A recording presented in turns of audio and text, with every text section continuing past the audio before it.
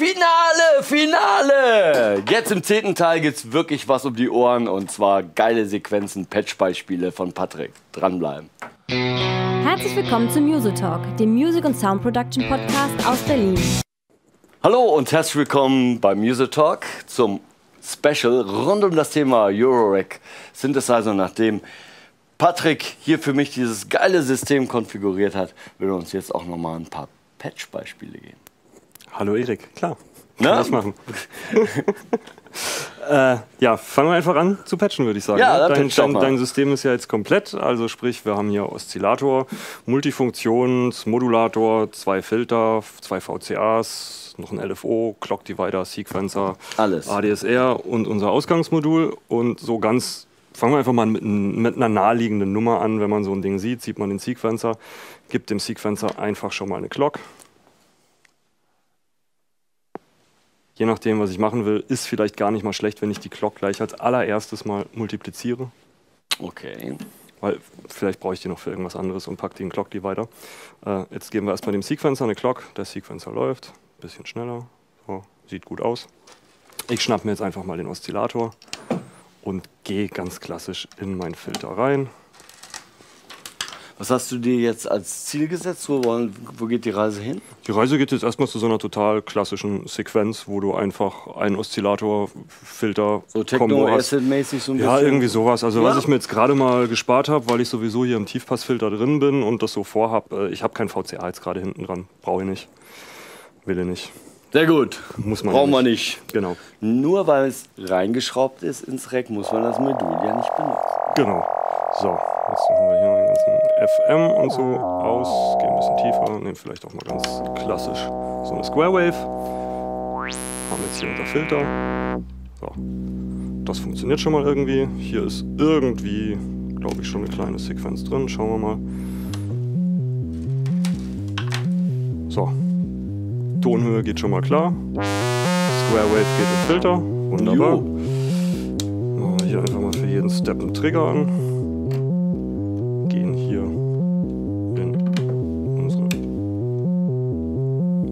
Unser A171.2, den wir jetzt gerade einfach mal als Füllkurve nutzen. Nehmen den Ausgang und gehen damit in den Modulationseingang von unserem Filter, den Frequenzmodulationseingang. Drehen die Modulationsstärke auf. Wenn wir den Sound jetzt irgendwie komplett weghaben wollen, brauchen wir eigentlich einen Cut-Off hier runterdrehen. Deshalb spare ich mir gerade echt irgendwie den VCA, wenn ich für den Sound jetzt gerade nicht brauche. Jetzt haben wir eigentlich die komplette Basis und sind irgendwie frei, damit zu experimentieren. Das heißt, ähm, einerseits habe ich jetzt hier die Clock, die packe ich mir jetzt einfach mal in den Clock Divider rein. Jetzt habe ich hier meinen Clock Divider, jetzt kann ich hier die unterschiedlichsten Teilerfaktoren nutzen. Sind wir mal so, dass die jetzt ähm, 2, 3, 4, 5, 6, 7, 8 teilt. Und auch wenn das Clocks sind, klassischerweise würde man mit so einer Clock jetzt natürlich irgendwie, keine Ahnung, eine Hüllkurve zum Beispiel irgendwie triggern. Kann man mal machen.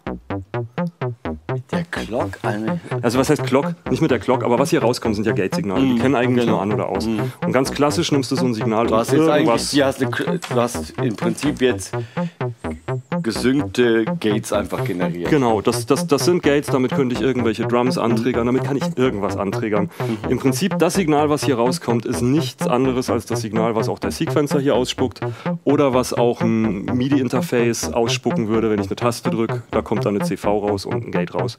Und ganz klassisch triggerst du damit zum Beispiel eine Hüllkurve oder ähm, machst Start-Stopp beim Sequencer, resettest was, schaltest eine Clock weiter.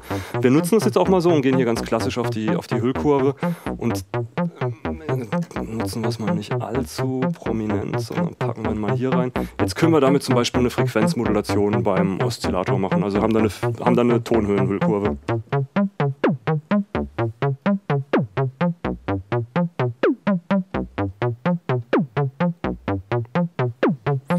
Jetzt eben hier jeden achten Clocktick ausgeführt wird.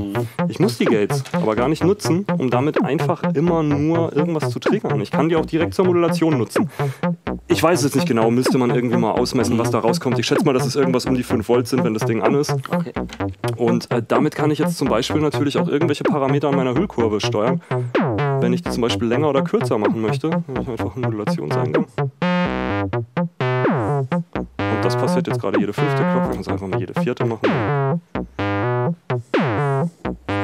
Dann klingt es vielleicht etwas gewohnter, ich finde den Fünfer aber eigentlich charmanter. Und ja, gerade diese ungeraden Sachen, die, die schön sind im Modulsystem, weil es da ganz einfach zu machen ist. Im Computer ist das schon richtig gar nicht mehr so einfach. Ähm, ja, kommt immer drauf an. Ich meine, das ist halt bei diesen ganzen, ich würde jetzt gar nicht sagen, dass es Computer ist oder, oder Hardware, aber bei allen Sachen, die fest vorkonfiguriert sind, sind es halt Sachen, da wird dir eine gewisse, gewisse, ein gewisser Workflow quasi auferzwungen. Das, was du hast, damit kannst du arbeiten. Die Ideen, die du hast, müssen alle im Rahmen dessen sein, was, was du machen kannst, was du für Werkzeuge zur Verfügung hast. Hier ist es so, dass du einfach freier in der Wahl deiner Werkzeuge bist. Und auch wenn du dann ganz klassisch anfängst, kannst du natürlich trotzdem das Ganze weiter erweitern. Ähm, jetzt bleiben wir einfach hier mal beim Beispiel Modulation. Also wir können jetzt die Gates hier wirklich noch für eine ganze Menge nutzen, um das Signal ähm, sehr viel ähm, variabler klingen zu lassen. Wir haben hier die Möglichkeit, Amplitudenmodulation zu machen mit dem äh, zweiten Oszillator. Das hören wir allerdings nur, wenn wir über den Masterausgang gehen. Deshalb nutze ich den jetzt mal ganz kurz und stelle den mal so ungefähr so ein, dass wir so einen eher klassischen Oszillator-Sound da auch wieder rauskriegen sollten. So. Ähm, jetzt habe ich aber die Möglichkeit, hier eben zusätzlich noch ah, Amplitudenmodulation dazu zu schalten. Kann noch einmal gucken, dass ich hier ein bisschen mehr Gas gebe.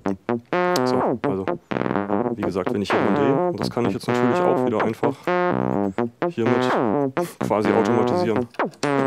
Je nachdem, wie stark ich jetzt diesen, äh, diesen Attenuator hier aufdrehe, ist halt die Modulation stärker oder schwächer. Und genau das gleiche Spiel kann ich jetzt auch eigentlich treiben, dass ich hier einen LFO nehme, der ja gerade auch sowieso schon die Clock irgendwie beifügt. Und ähm, Jetzt mache ich einfach mal folgendes. Ich nehme jede zweite Glock und gehe hier ganz minimal mal auf die Geschwindigkeit.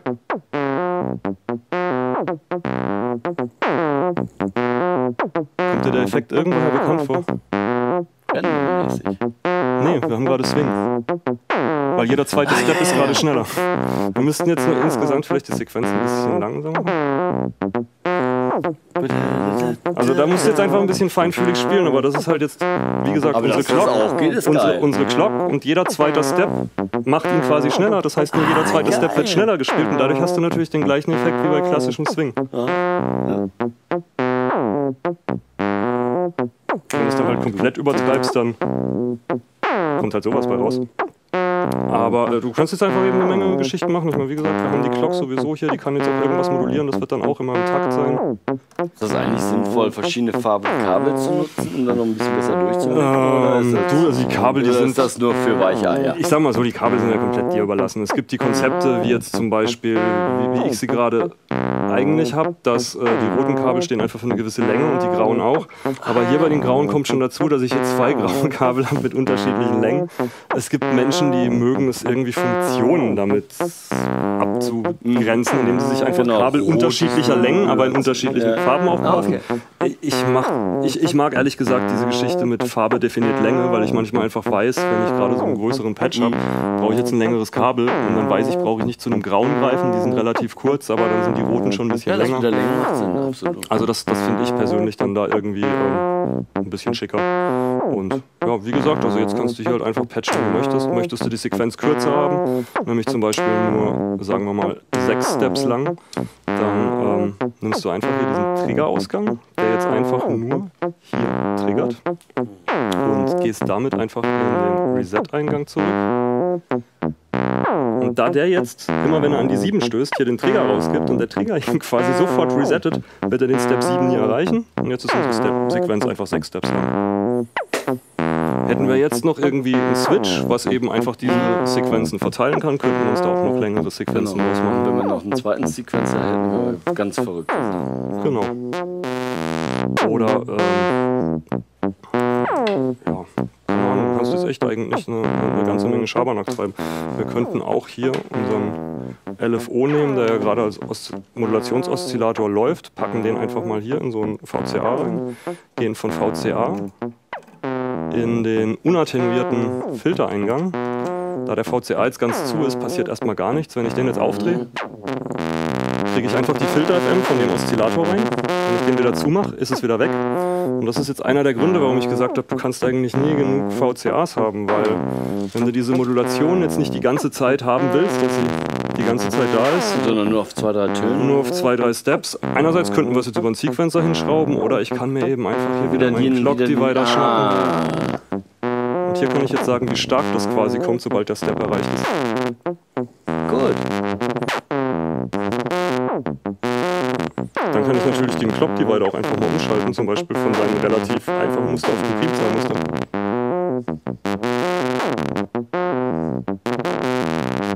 Kommt aber besser. Primzahlen.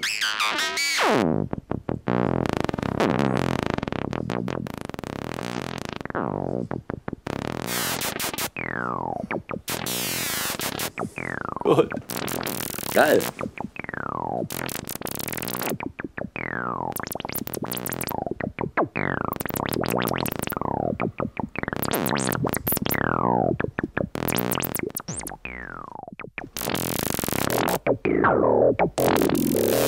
Ja, ist cool.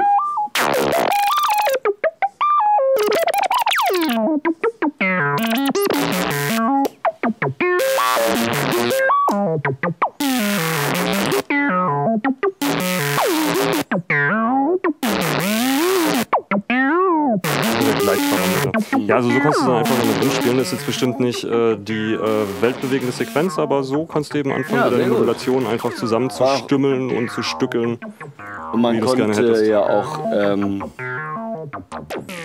schon hören, wie sich das schon dramatisch ändert, wenn du so zwei, drei Sachen anders patchst. Ne? Genau, und wir haben hier eigentlich auch eine jetzt immer noch total simple, einfache Sequenz gehabt, wo einfach nur ein Oszillator und ein Filter irgendwie drin war. Also du kannst eigentlich durch ein paar Modulationen schon machen, dass es auch definitiv nach mehr klingt. Und ähm, ja, Schönes Patch-Beispiel. Jetzt ähm, ist uns ja schon bei einer der anderen Folgen aufgefallen, wir haben ja ja kein Neues. Wir haben kein Neues, Wir genau. haben kein Neues und ohne Neues ist Scheiß. naja, Aber wir ohne Neues ist jetzt nicht direkt scheiße. Aber wir haben natürlich hier kein Neues. Ich denke auch, ähm, Neues ist wichtig, aber man muss es nicht unbedingt immer haben. Ähm, wenn du natürlich total viel mit Neues machst, dann kauf dir ein neues Modul. Wenn du nur einen neuesartigen Sound machen willst, brauchst du aber nicht unbedingt Neues.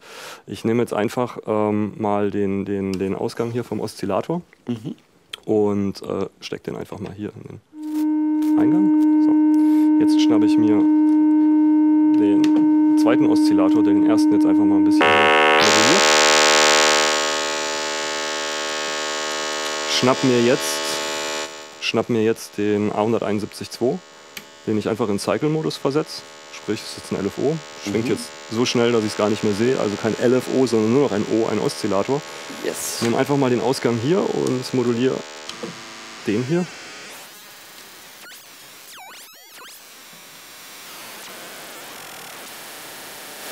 Das ist neu.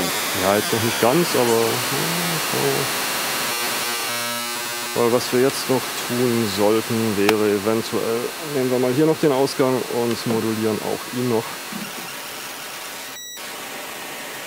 Das, ja. Da kommen wir doch Neues jetzt schon näher. Jetzt kannst du einfach hier mal so ein bisschen spielen. Wir kriegen jetzt hier auch die unterschiedlichsten Couleurs des Brutzens Ja, hin. ja, ja, sehr gut. Und wenn du jetzt halt so einen perkussiven, noise-artigen Drum-Sound oder sowas haben willst, dann, mein Gott, geh einfach hier in dein VCA. Geh von da in deinen Ausgang. Jetzt lassen wir einfach den LFO das Ganze hier triggern. Das macht es einfacher. Gehen jetzt hier zum Beispiel in die Hüllkurve rein. Bisschen langsamer. So. Und wenn wir jetzt den Ausgang nehmen und damit den VCA steuern, dann sollten wir so einen lustigen kleinen Rausche-Sound kriegen. Hi-Hat.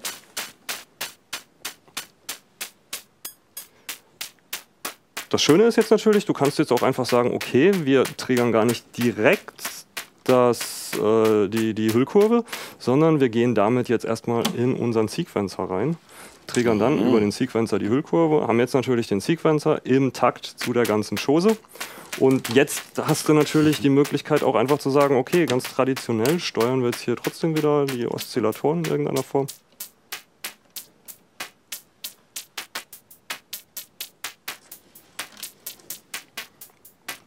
Nehmen vielleicht hier noch die zweite Line für den zweiten Oszillator.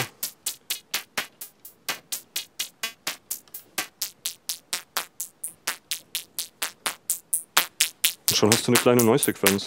Und äh, wenn wir jetzt natürlich gewollt hätten, dann hätten wir den, die Glock auch einfach erstmal vielleicht ins ähm, Multiple stecken können und gehen dann vom, oh, das ist zu kurz, gehen dann vom Multiple wieder in den Sequencer, können jetzt aber auch vom Multiple aus wieder in den Clock Divider gehen. Und können den jetzt eben wiederum nutzen, um hier eben auch wieder kleine Modulation reinzubringen.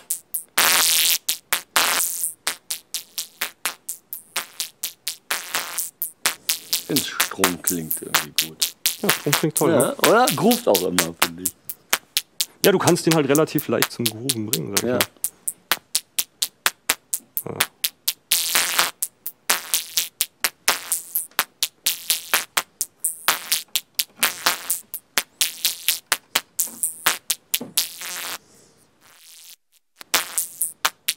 Toll, dass du dich da nie drin verirrst.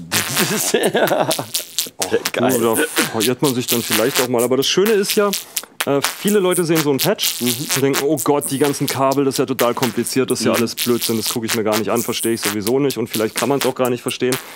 Aber ähm, das ist natürlich Schwachsinn, weil wenn du dir das so anguckst, das ist ja mit der Zeit entstanden. Das heißt, das ist eigentlich wie ein Bild. Wenn du jetzt die Mona Lisa nimmst, das war ja nicht irgendwie so ein Stempel, bam, Stück Papier, zack, Ja, Mona Lisa, fertig, sondern das war irgendwann mal ein total harmloser Strich. Der hat überhaupt nicht gezeigt, wo die Reise hingeht. Der sah auch nicht aus nach Mona Lisa, war halt ein Strich, hätte jeder machen können.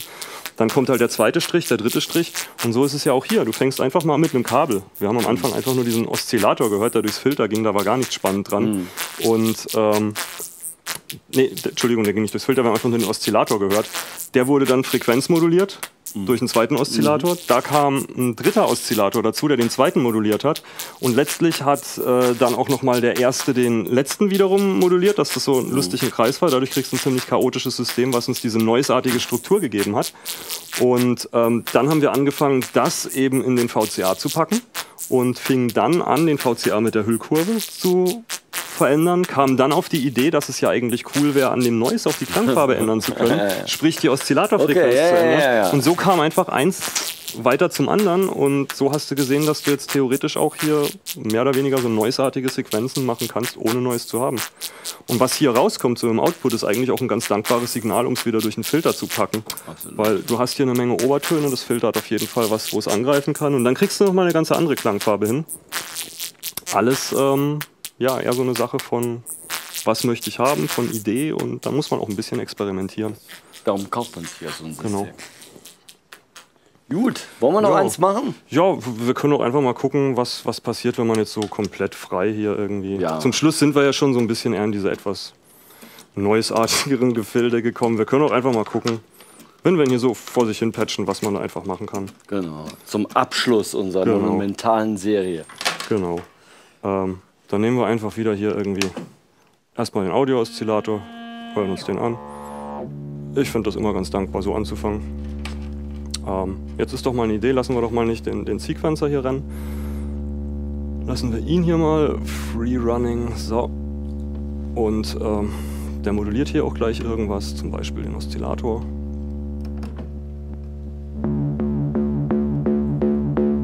So. Gleichzeitig hat er ja diesen End-of-Cycle-Ausgang. Das heißt, er kann mir ganz genau sagen, wann er fertig ist mit dem, was er eigentlich macht. Das soll jetzt meine Clock geben, die stecke ich einfach mal hier rein. Jetzt kann ich mit der Clock zum Beispiel einfach sagen, wir gehen wieder in unseren Clock-Divider. Den stelle ich jetzt natürlich auf jeden Fall für irgendwie schräges Zeug auf die Primzahl. Yes. Und jetzt sagen wir einfach mal jedes, jedes dritte Mal, wo er hier dran ist, soll er dann aber ein bisschen schneller werden.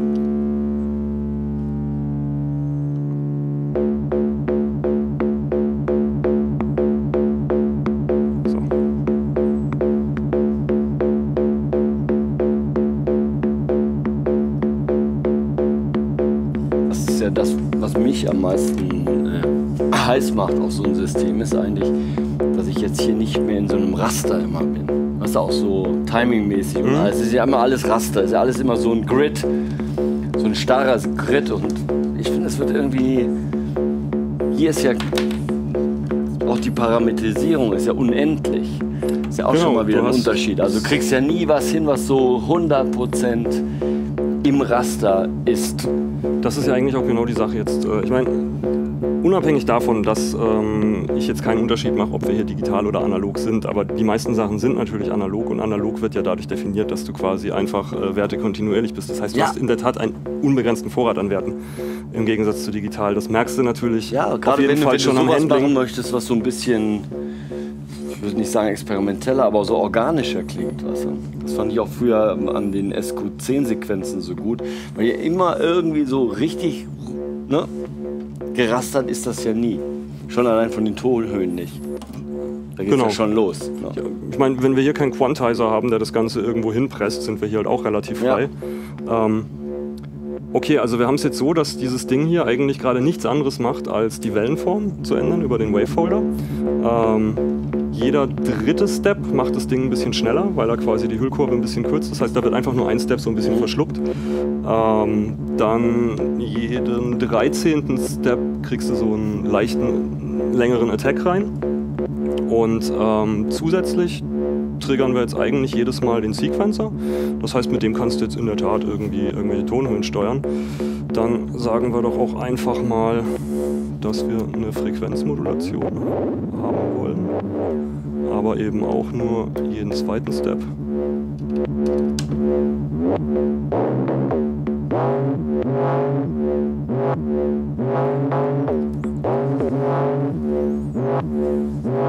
Und steuern über den Sequencer einfach mal die Tonhöhe von dem Modulationsoszillator.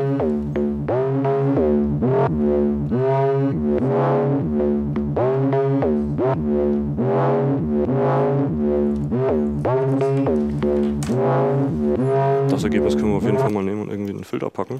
Ich auch sagen. Nehmen wir mal einen Bandpassausgang. So, gucken. Ne? Wer hat, der hat. Wer hat, der hat. Genau.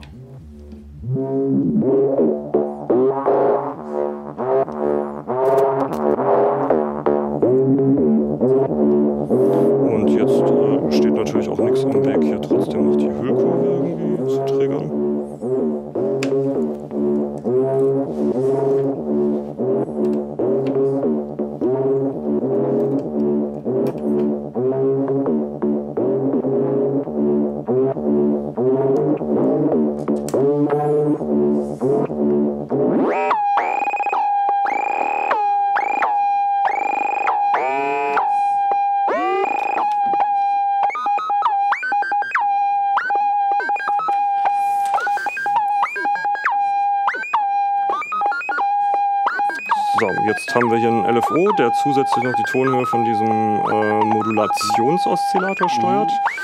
Und den wir jetzt seinerseits auch ein bisschen fernsteuern. Wir gehen jetzt, wir machen jetzt Route 66 von East Coast nach West Coast fahren wir jetzt gerade. Genau, Ne? so langsam.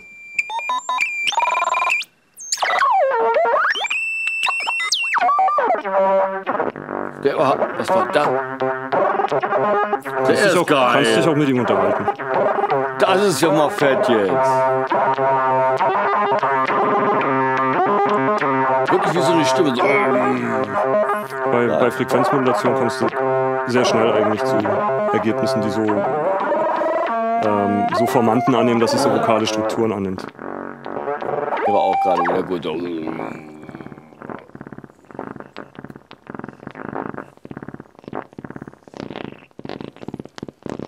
Jetzt sind wir irgendwo im Verdauungstrakt. Ja, genau.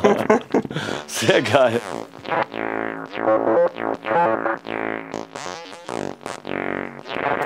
Conjuring, wie das heißt. Was du jetzt natürlich machen kannst, ähm, hält dich nichts davon ab, ähm, zum Beispiel ein Keyboard zu nehmen.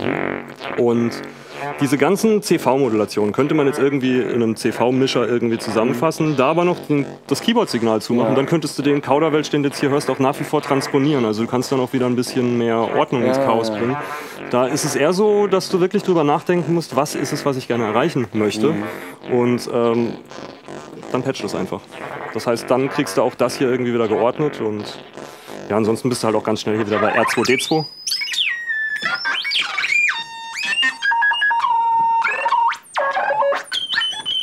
Voll.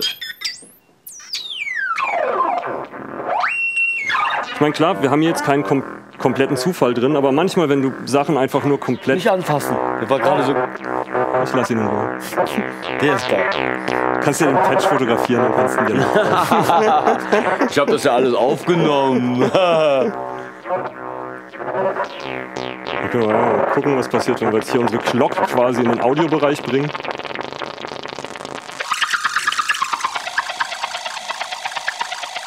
Das ist auch schön.